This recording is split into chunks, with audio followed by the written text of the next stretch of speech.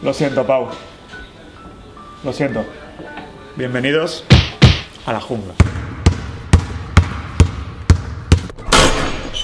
Bueno, aquí estamos, Playos in the Jungle, una semana más en el NBA Café. Al final del vídeo os diré qué tenéis que hacer para conseguir una camiseta como esta, brutal.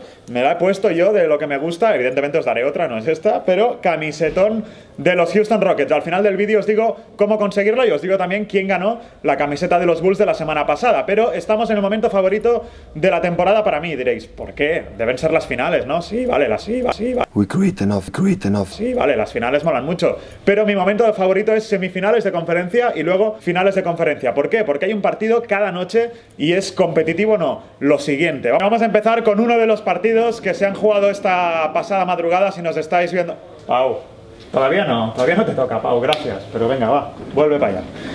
En fin, vamos a empezar con uno de los partidos que se han jugado esta pasada madrugada. Cleveland-Toronto. Claro, al descanso que ya llevaba LeBron James y el Big Three de la regular season, porque descansaron los últimos partidos, le sumamos el descanso de que le metieron un 4-0 a Indiana y en cambio Toronto tuvo que pelear con Milwaukee, con lo cual pues ha pasado lo que tenía que pasar, que Cleveland le ha pasado por encima a Toronto, no ha habido color, ha habido un momento en el segundo cuarto en que Ibaka ha metido dos o tres tiros seguidos y han hecho un parcial de 19-3 los Raptors, pero desde ahí tiempo muerto y ya está. Y no ha habido más partido, ha ganado Cleveland con una jugada increíble que tenéis que ver de Kyrie Irving, lo que le ha hecho a Norman Powell. Para mí, soy muy respetuoso con la historia siempre, ¿eh? pero no sé si estáis de acuerdo conmigo o no, dejadlo en los comentarios. Para mí, Kyrie Irving, el mejor driblador de la historia de la NBA ni Tim Hardaway, ni nadie, o sea, nadie. Dribla mejor el balón, bota abajo, hace cambios, ni Steve Francis, ni Allen Iverson.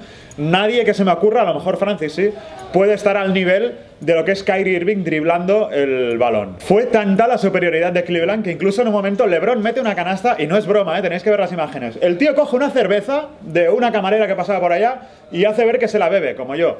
Es muy grande LeBron. Bueno, vamos a seguir con otra eliminatoria, con una rivalidad de nuevo... Pau, de verdad, que ya lo sé que quieres hablar, pero si no te interesa además salir hoy, si no te interesa hablar de lo que ha pasado, va, de- después, venga.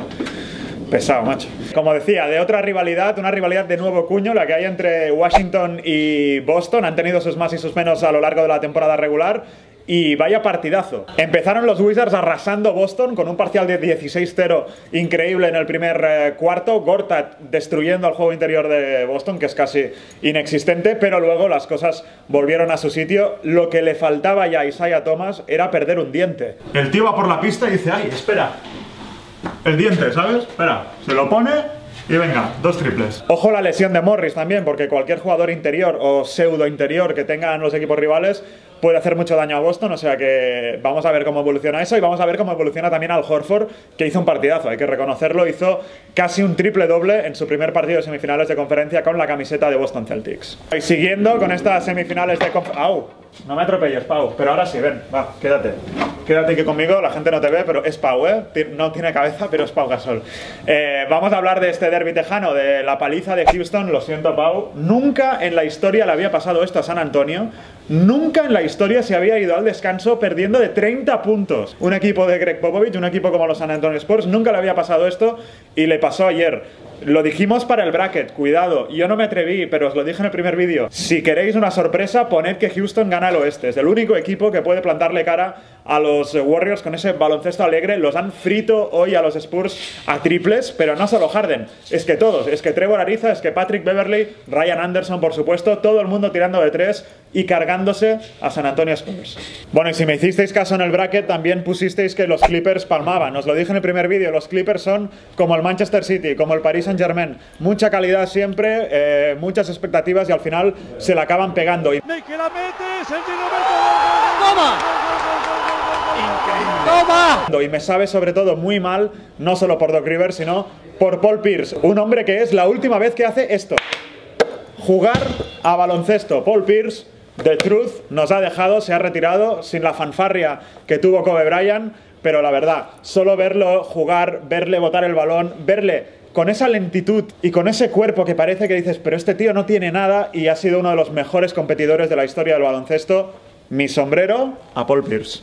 Pero Paul Pierce se queda atrás y los que siguen son los Utah Jazz, que se enfrentarán a los Warriors. Les pueden dar algo de guerra, a lo mejor ganar algún partido, porque son guerreros los Jazz, pero teóricamente no tienen mucho que hacer ante el potencial ofensivo del equipo de Oakland. Bueno, vamos a los premios, vamos a los ganadores. Pablo Seller, Pablo Seller Campos, o Pablo Seller Campos, de Granada, ha ganado la camiseta de los Bulls, una camiseta como esta, pero de Chicago, porque él, como mucha otra gente, había acertado que en ese pedazo de eliminatoria entre Bulls y Celtics de 2009 hubo siete prórrogas, siete partidos, siete prórrogas, no una por partido porque hubo algún partido sin y otro con dos o tres prórrogas, pero fue una de las mejores series de la historia, él lo acertó y para él la camiseta de los Bulls. Además tiene en su Instagram una frase de Rocky Balboa en la biografía, para él eh, desde Granada esa camiseta de Chicago. Bueno, ¿qué tenéis que hacer para ganar este pedazo de... Voy a hacer un striptease, estoy acostumbrado a desnudarme ante las cámaras. ¿Qué tenéis que hacer para ganar este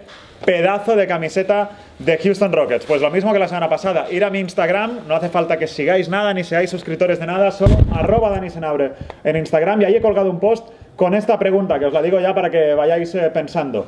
Una de las frases más míticas de la NBA la dijo Rudy Tomjanovic después de ganar el segundo anillo con Houston en una temporada en la que no eran favoritos para nada y acabaron ganando.